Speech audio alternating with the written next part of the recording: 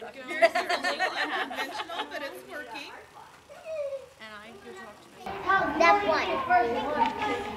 Step one, get a swimming needle. Cut it at least this size. Step two. You're supposed to get a toothbrush and take off, take out the motor. Because somebody tried one with two yesterday and that one didn't work. Step three, Why do you say they're tight? You take this part, the much you pull down.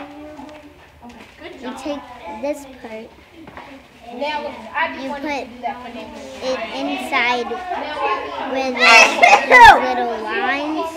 I'm not going to be. Just stop. And then you put battery in.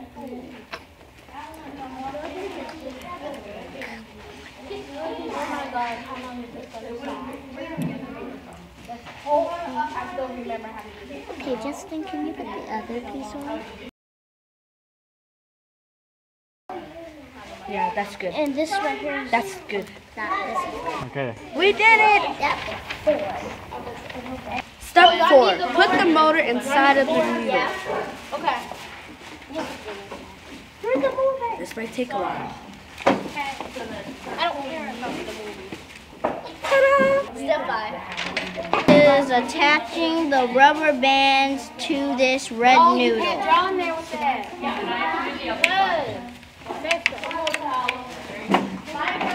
Sarai. Sarai.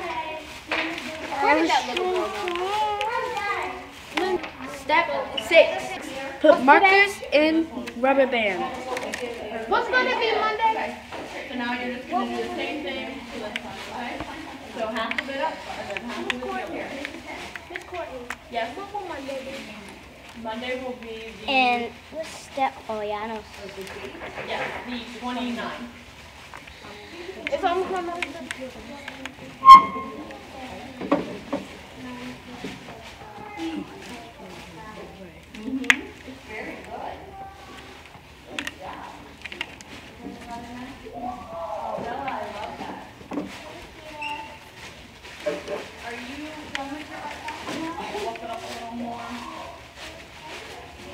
There you go. Step seven. Step seven.